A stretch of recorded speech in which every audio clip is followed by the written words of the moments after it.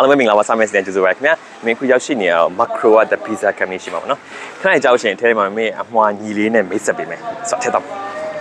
နော်မင်္ဂလာပါဒါ pizza တက်လာလား cheesy pepperoni okay ဟုတ်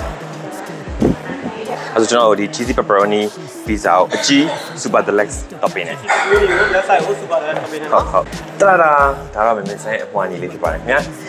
ဆိုတော့ဒါက cheesy pepperoni pizza ဆိုတော့ဒါမင်းကြိုက်မှာကြိုက်မှာဆိုတော့မင်းစားလိုက်မင်း LTO ကတော့ limited time offer ဆိုတော့အများကြီးမရအောင်အခုရတဲ့အချိန်လေးမှာဆွဲလိုက်တာစားမယ်ရေးယူ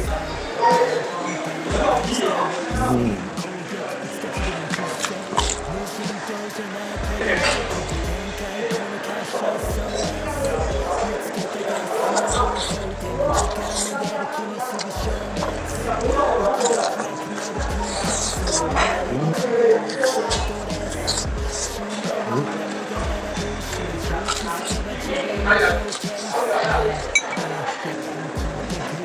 ားဒီအတစ်ထွက်တဲ့ဒီ cheesy pepperoni pizza မှာဆိုရှင်မနော်အဓိကတော့ဒိုးသားလေးပေါ့ဒိုးသားမှာဆိုရှင်သူကဒီကဒီ cheese အချောင်းလေး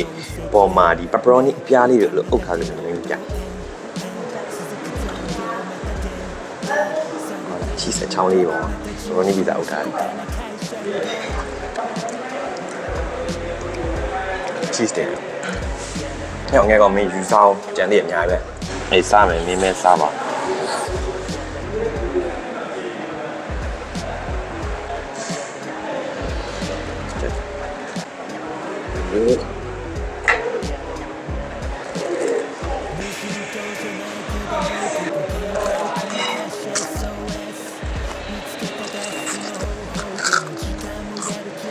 你講 pizza site တစ်ခုပဲကျွန်တော်ကျွန်တော်မင်းစားတယ်။နောက်ပြီးတော့မှ tropical seafood နဲ့နောက်တစ်ချက်ပါဆက်ထပ်ဆွဲသွားတယ်။အဲ့တော့ငါပဲဆွဲလိုက်တော့